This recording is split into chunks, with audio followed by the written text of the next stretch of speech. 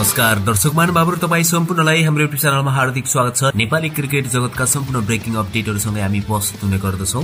नेपाली राष्ट्रिय cricket team यति बेला भारतमा रहेको छ र भारतको गुजरातमा बरोडा र गुजरातसँग टी ट्वेन्टी क्रिकेट प्रतियोगिता खेल्दैछ जहाँ फ्रेन्डसिप कप भइरहेको छ। र आज नेपाल क्रिकेट टिमले बरोडासँग खेल्नेछ।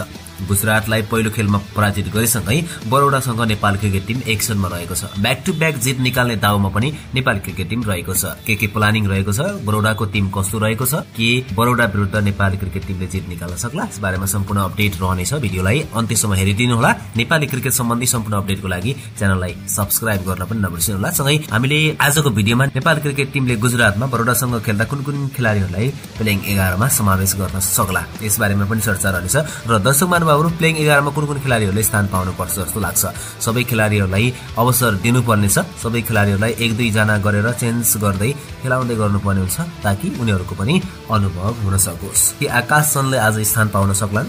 यस बारेमा पनि तपाईँको धारणा तलको कमेन्ट बक्समा लेखिदिनु होला। नेपाली राष्ट्रिय क्रिकेट टोली निरन्तर टी ट्वेन्टी विश्वकपको तयारीमा रहेको छ। सन् दुई हजार चौबिस जुनबाट शुरू हुने विश्वकपका लागि छनौट भए यता नेपालले तयारी स्वरूप विभिन्न सिरिजहरू खेलिसकेको छ। नेपाल अहिले एसएससी प्रिमियर कप र विश्वकपको तयारीको लागि भारतमा रहेको छ। भारतमा नेपालले भारतका दुई स्टेट टोलीहरूसँग सिरिज खेलिरहेको छ। सिरिजमा बरोडा र गुजरात क्रिकेट संघको टोलीको सहभागिता रहेको छ। नेपाल बरोडा र गुजरात बीचको त्रिकोणात्मक टी ट्वेन्टी प्रतियोगिता सिरिज मार्च एकतिसदेखि अप्रेल सात तारिकसम्म चल्नेछ। पहिलो खेल नेपालले शनिबार गुजरातको सामना गरेको थियो। सो खेलमा नेपाल आठ विकेटले विजय हुन सफल भएको थियो। गुजरातले दिएको उनान्सय रनको लक्ष्य नेपालले मात्र दुई विकेट गुमाएर पन्ध्र दशमलव दुई ओभरमा पूरा गरेको थियो भने दोस्रो खेलमा गुजरात र बरोडा बीच खेल भएको थियो जहाँ गुजरातले जित निकाल्न सफल भएको थियो भने आज पनि नेपाल क्रिकेट टिम जित निकाल्ने योजनामा रहेको छ। नेपालले आज बरोडाको सामना गर्नेछ। त्यस्तै अप्रेल तिनमा नेपालले पुनः गुजरातको सामना गर्नेछ भने नेपाल र बरोडा बीचको दोस्रो खेल अप्रेल पाँचमा हुनेछ। त्यसै गरी सिरिजको फाइनल अप्रेल सात तारिकमा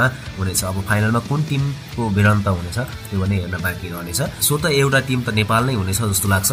नेपालको प्रदर्शन हेर्दा र अर्को टिम गुजरात हुन्छ अथवा बरोडा त्यो भने थाहा छैन। दर्शक मानवहरू नेपाली क्रिकेट टिममा चाहिँ अब गुजरात विरुद्ध खेलेका खेलाडीहरूले नै सायद स्थान पाउनेछन् जस्तो लाग्छ। र त्यहाँ चाहिँ आकाश चन्दलाई पनि स्थान दिनुपर्नेछ। एकजना अलराउन्डर अथवा बलरलाई हटाएर चाहिँ आकाश चन्दले चाहिँ स्थान पाउने सम्भावना बलियो देखिन्छ। किनकि आकाश चन्दलाई पनि एक्सपिरियन्स गराउनु पर्नेछ कुनै एकजना बलरलाई विश्राम दिएर हुन्छ अथवा के गरेर हुन्छ आकाश चन्दले स्थान पाउनुपर्नेछ। नेपाली क्रिकेट टिममा सँगै विवेक यादव लगायतका खेलाडीहरूले स्थान पाउनुपर्ने हुन्छ विवेक यादव प्रत्येश देशीले पनि निरन्तर ठाउँ पाएको खण्डमा चाहिँ उनीहरूको प्रदर्शन पनि हेर्नुपर्नेछ। अवे कन्डिसनमा उनको प्रदर्शन कस्तो रहन्छ भनेर हेर्न बाँकी रहन्छ। त्यस कारणले गर्दा यी सबै खेलाडीहरूले स्थान पाउनु पर्ने जरुरी छ। एक्सपेरिमेन्ट गर्नुपर्ने जरुरी छ यो खेलमा चाहिँ। सबैजनालाई एक्सपेरिमेन्ट गर्नुभन्दा पनि चान्स नपाएका खेलाडीहरूलाई चाहिँ चान्स दिएर हेर्ने र उनीहरूको प्रदर्शन कस्तो रहन्छ त्यहाँ काम गर्न सकिनेछ। त्यो कारणले चाहिँ अगाडि बढ्नेछ Nepali cricket team.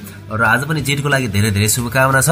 State team Gujarat र बडौदा त्यति बलिया टिमहरू चाहिँ देखिएका छैनन्। उनीहरूको लय हेर्दाखेरि चाहिँ गुजरातसँग बडौदा फेरि पराजित भएको छ। तर उनीहरूको ब्याटिङ भन्दा पनि बलिङ चाहिँ निकै नै राम्रो लाग्यो मलाई चाहिँ। बलिङमा चाहिँ निकै नै प्रेसर दिइरहेका थिए र लाइन एन्ड लेन्थमा राम्रो प्रदर्शन पनि गरिरहेका थिए। अग्ला कदका बलरहरूले नेपाली ब्याट्सम्यानहरूलाई समस्यामा पार्न सक्ने सम्भावना पनि रहेको छ र निकै नै उत्कृष्ट बलिङहरू गरिरहेका थिए दर्शक महानुभावहरू र ब्याटिङमा भने त्यति राम्रो प्रदर्शन भएनन्। दुवै टिमबाट गुजरातबाट पनि बरोडाको टिमबाट पनि त्यति राम्रो प्रदर्शन देख्न सकिएन।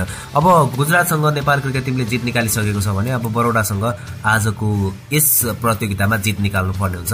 फाइनल पुग्नको लागि अझै सहज हुनेछ। र दर्शकवृन्द के आजको जित नेपाल क्रिकेट टिमले निकाल्न सक्ला? यसको बारेमा तपाईँको धारणा के छ? लेखिदिनु होला र शुभकामना दिनुहोला। Best of luck team Nepal भनेर लेख्नुहोला र प्लेइङ एघारमा कुन कुन खेलाडीहरू तपाईँले समावेश गर्न चाहनुहुन्छ? यसबारेमा पनि तलको कमेन्ट बक्समा लेखिदिनु होला च्यानललाई एक सब्सक्राइब गरिदिनु होला भिडियोलाई एक लाइक गर्नु होला अर्को भिडियोमा हाम्रो भेट हुनु नै छ। जय नेपाल जय नेपाली क्रिकेट।